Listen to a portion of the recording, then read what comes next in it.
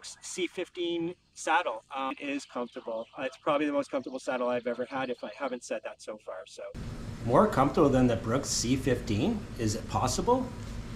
Let's take a look.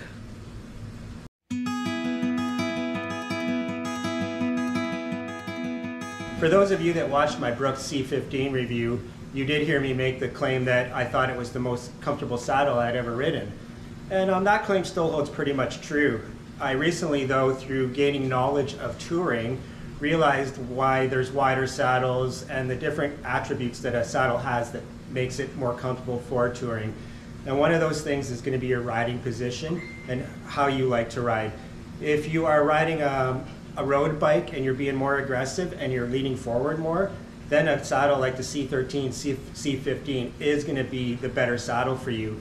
But what I didn't realize about touring and being more comfortable, and with me with the Jones handlebars trying to get into that upright upright position, is that you want that wider saddle um, and you want that flex in the saddle if you're in that more upright position because your sit bones are going to be positioned differently.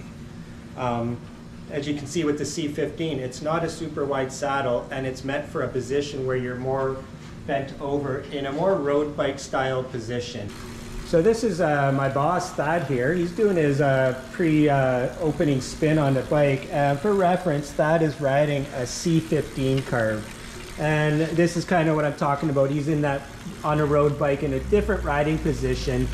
Um, when he gets down on the hooks, he's on the drops, he's definitely going to be in that that more aggressive position. But um, Thad loves the uh, C15 carved. Um, he said it when he initially got it, he was able to ride like a long distance right off the bat. Was that right, Thad? 250 kilometers. There you go, guys. 250k out of the box. So pretty good returns. Thanks, Thad.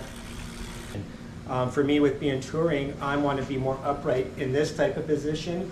And that's where a saddle like the C17 and even the C19 is going to come into play.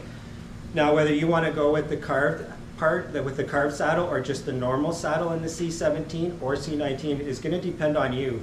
Um, from my experience, I thought that the C15 was really flexible and a very comfortable saddle, but from having ridden on the C17 for the last couple days, I have to say that the wider saddle and the cutout makes it so much more comfortable as you can see, the seat really does, as I was mentioning, have a lot of flex. You can see when I push down on it, you can really see that center cutout part moving a lot. So you can imagine if you were riding that that's kind of the flex you're gonna get and it really does make a difference. You can really feel the seat flexing when you ride and that's the key. And then the other thing too is, like I said, with being in the upright position, your sit bones are better situated on the wider saddle for that upright position. As far as the uh, specs go on both saddles, the C15 that I was riding is 283 millimeters long, as well as the C17. They're both the exact same length.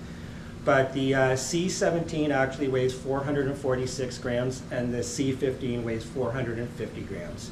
So really very negligible difference in weight. Um, and be quite honest with you, they are a little on the heavy side, but for touring, that really shouldn't be a concern if you're going to be strapping on all the bags on your bike. So uh, a few extra grams on the saddle does not hurt anybody. They are made out of vulcanized rubber, um, which is basically, for all you Canadians, the best way I can describe it is, it's the same material as a hockey puck. So um, if you're ever in a pinch, you could melt one down and make a puck out of it. Okay, so those are my early thoughts on the C17 carved. Obviously, I will share my thoughts going forward on it as I ride it further. But um, initially, it was as comfortable and familiar as the C15 was, if not more com comfortable right off the bat. I will mention though that um, initially I had it set up the same as the C15 as far as the tilt of the saddle. Um, as soon as I nosed up that saddle a little bit, brought the saddle nose up, the, com the comfort level totally changed. So keep that in mind when you get the saddle that you're going to want to play with that position um, as far as the tilt goes.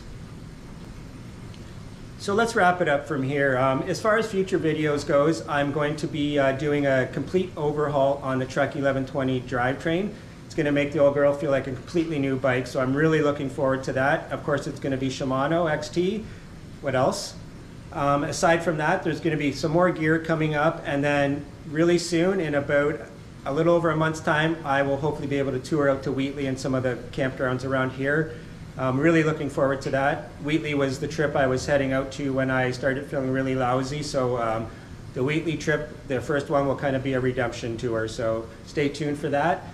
But otherwise, I hope you guys are getting out there and doing something you love, and I'll see you in the next one. Cheers.